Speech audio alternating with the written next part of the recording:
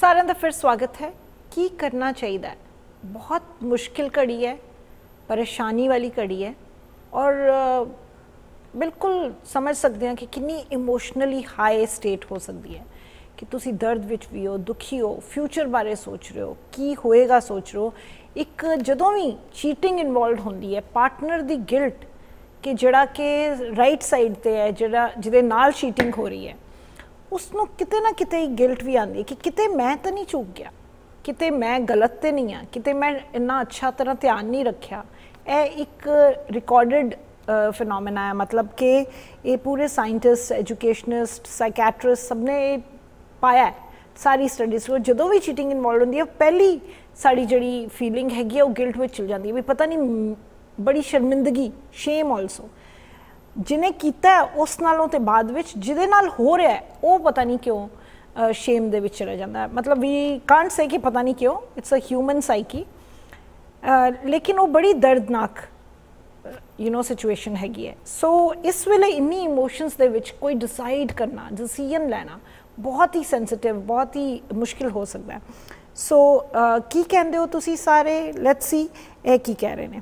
Hello thank you Arvind ji Barinder Ahluwalia thank you for taking my call thank you for calling Barinder ji ਦੱਸੋ ਕੀ ਕਹਿੰਦੇ ਹੋ ਦੇਖੋ ਇਹ ਦੋ ਟੱਬਰਾਂ ਦਾ ਸਵਾਲ ਹੈ ਔਰ ਅਸੀਂ ਇੱਕ ਐਸੇ ਚਰਾਏ ਤੇ ਖੜੇ ਹਾਂ ਜਿੱਥੇ ਸਾਨੂੰ ਕੁਝ ਨਾ ਕੁਝ ਕਰਨਾ ਪੈਣਾ ਹੈ ਰਾਈਟ ਪਹਿਲੇ ਤਾਂ ਹੈ ਕਿ ਆਪਣੇ ਬ੍ਰਦਰ ਨਾਲ ਅਵਗਾਹ ਕਰਾਏ ਸਾਰੀ ਸਿਚੁਏਸ਼ਨ ਤੋਂ ਅੱਛਾ ਕਿ ਤੂੰ ਹੁਣ you deal with your wife okay ਦੂਜੀ ਗੱਲ she must go to social services department ਉੱਤੇ ਫੈਮਿਲੀ ਕੋਰਟ ਹੁੰਦੇ ਨੇ ਲਾਇਰ ਨਾਲ ਕੰਸਲਟ ਕਰੇ ਜੀ। ਕਿ ਇਸ ਸਿਚੁਏਸ਼ਨ 'ਚ ਇਹਦੇ ਕੀ ਰਾਈਟਸ ਹੈਗੇ ਨੇ।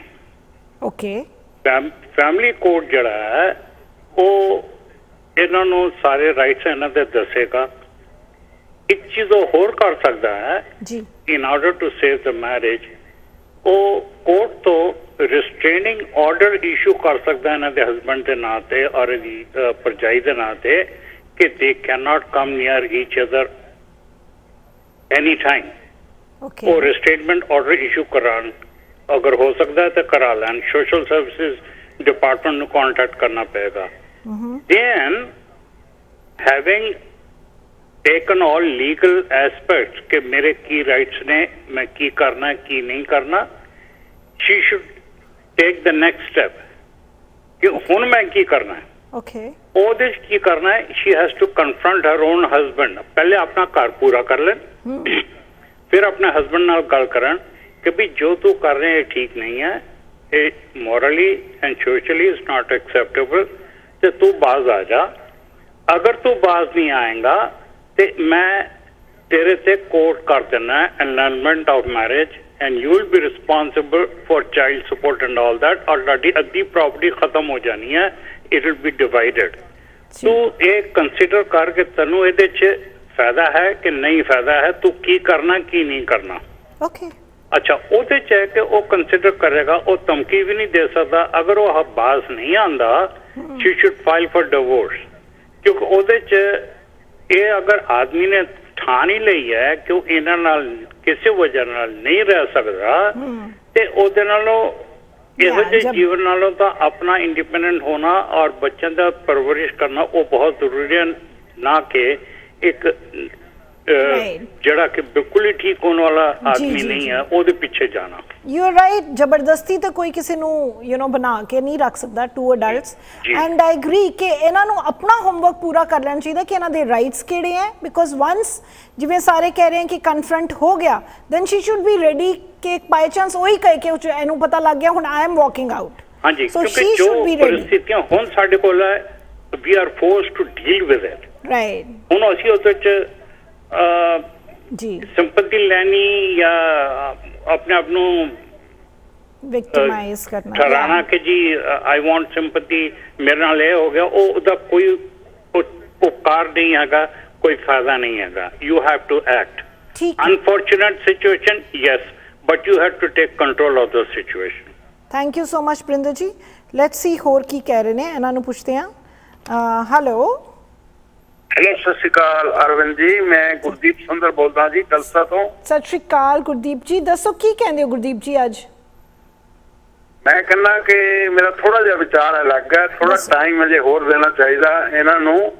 ਆਪਣੇ ਜਾਨੀ ਇੱਕ ਔਰਤ ਦੇ ਹਰ ਔਰਤ ਦੇ ਕੋਲ ਇੱਕ ਬਹੁਤ ਖੂਬੀ ਹੁੰਦੀ ਆ ਉਹਨੂੰ ਕਹਿੰਦੇ ਆ ਪਿਆਰ। ਸੋ ਇਹਨਾਂ ਨੂੰ ਚਾਹੀਦਾ ਕਿ ਆਪਣੇ ਪਿਆਰ ਦੀ ਕੁੰਜੀ ਦੇ ਨਾਲ ਆਪਣੇ ਹਸਬੰਡ ਦੇ ਦਿਲ ਦਾ ਜੰਦਰਾ ਪਹਿਲਾਂ ਖੋਲੇ ਹੂੰ। ਤੇ ਉਹਨਾਂ ਨੂੰ ਪਿਆਰ ਨਾਲ ਪਹਿਲਾਂ ਤਾਂ ਪੁੱਛੇ ਹੋ ਸਕਦਾ ਹੈ ਝੂਠ ਵੀ ਹੋਵੇ। ਜਦੋਂ ਉਹਦੇ ਹਸਬੰਡ ਪੂਰੀ ਤਰ੍ਹਾਂ ਦੱਸਣਗੇ ਇਹਨਾਂ ਨੂੰ 60 75% ਪਤਾ ਲੱਗ ਜਾਏਗਾ ਕਿ ਸੱਚ ਹੈ ਜਾਂ ਝੂਠ ਹੈ। ਇੱਕ Okay. ਤੇ ਸ਼ੰਕਾ ਦੂਰ ਹੋ ਜਾਏਗੀ ਦੂਜਾ ਹਸਬੰਡ ਨੂੰ ਫਿਰ ਦੱਸਣ ਕਿ ਮੈਂ ਡਿਪਰੈਸ਼ਨ ਦੇ ਵਿੱਚ ਚਲੀ ਗਈ ਆ ਦੇਖੋ ਤੇ ਬੱਚਿਆਂ ਤੇ ਵੀ ਅਸਰ ਪਏਗਾ ਆਪਣੀ ਫੈਮਿਲੀ ਵੀ ਬਰਬਾਦ ਹੋ ਜਾਏਗੀ ਤੇ ਉਹਨਾਂ ਦੀ ਫੈਮਿਲੀ ਵੀ ਬ੍ਰਦਰ ਦੀ ਵੀ ਫੈਮਿਲੀ ਅਜੇ ਬ੍ਰਦਰ ਨਾਲ ਗੱਲ ਨਾ ਕਰੇ। ਹੋ ਸਕਦਾ ਬ੍ਰਦਰ ਅੱਗਿਓਂ ਕਹਿਦਾ ਕਿ ਪਹਿਲਾਂ ਤੂੰ ਆਪਣੇ ਹਸਬੰਡ ਨੂੰ ਸਹੀ ਕਰ। ਮੇਰੀ ਔਰਤ ਠੀਕ ਹੈ। ਤੋਂ ਪਹਿਲਾਂ ਆਪਣੀ ਵਾਈਫ ਨਾਲ ਗੱਲ ਕਰੇ ਉਹਨਾਂ ਨਾਲ ਨਾ ਗੱਲ ਕਰੇ। ਆਪਣੀ ਵਾਈਫ ਨੂੰ ਚੰਗੀ ਤਰ੍ਹਾਂ ਸਮਝ ਦੱਸਦਾ ਵੀ ਆਹ ਗੱਲ ਮੇਰੇ ਤੇ ਪ੍ਰੈਸ਼ਰ ਪੈ ਰਿਹਾ ਫਿਰ ਬੱਚਿਆਂ ਤੇ ਪੈਗਾ ਰੂਇੰਡ ਹੋ ਜਾਏਗੀ ਫੈਮਿਲੀ ਦੋਨੋਂ ਫੈਮਲੀਆਂ ਸਾਡੀਆਂ। ਸੋ ਮੈਂ ਤੈਨੂੰ 6 ਮਹੀਨੇ ਦਾ ਸਮਾਂ ਦਿੰਨੀ ਆ। ਤੇ ਤੈਨੂੰ ਜਦੋਂ ਤੁਸੀਂ ਇਕੱਠੇ ਮਿਲਦੇ ਆ, ਮੈਨੂੰ ਚੰਗਾ ਨਹੀਂ ਲੱਗਦਾ, ਮੇਰੇ ਤੇ ਅਸਰ ਪੈਂਦਾ। ਜੇ ਉਹ 6 ਮਹੀਨੇ ਤੱਕ ਨਹੀਂ ਸਮਝਦਾ, ਫਿਰ ਆਪਣੇ ਭਰਾ ਤੇ ਭਰਜਾਈ ਨਾਲ ਗੱਲ ਕਰੇ, ਪਹਿਲਾਂ ਨਾ ਕਰੇ, ਇੱਕਦਮ ਉਹ ਹੋਣ ਨਾਲ ਇੱਕਦਮ ਬੰਬ ਫਟ ਜਾਏਗਾ। ਸੋ ਇਦਾਂ ਕਰਨਾ ਚਾਹੀਦਾ। ਥੈਂਕ ਯੂ ਜੀ। ਠੀਕ ਹੈ ਗੁਰਦੀਪ ਜੀ ਲੈਟਸ ਸੀ ਹੋਰ ਕੀ ਕਹਿ ਰਹੇ ਨੇ, ਇਹਨਾਂ ਨੂੰ ਪੁੱਛਦੇ ਹਾਂ। ਹੈਲੋ ਹਾਂਜੀ, ਸਤਿ ਸ਼੍ਰੀ ਅਕਾਲ। ਹੈਲੋ ਸਤਿ ਸ਼੍ਰੀ ਅਕਾਲ। ਸਤਿ ਸ਼੍ਰੀ ਅਕਾਲ ਜੀ ਹੈਲੋ ਮੈਨੂੰ ਆਵਾਜ਼ ਨਹੀਂ ਆ ਰਹੀ ਸੋ ਪਲੀਜ਼ ਦੁਬਾਰਾ ਕਾਲ ਕਰੋ। ਐਨੀ ਦੇਰ ਮੈਂ ਇੰਜ ਕਰਦੀ ਹਾਂ, ਇੱਕ ਛੋਟੀ ਜਿਹੀ ਕਮਰਸ਼ੀਅਲ ਬ੍ਰੇਕ ਲੈ ਲੈਣੀ ਆ ਵਾਪਸ ਹਾਜ਼ਰ ਹੋਣੀ।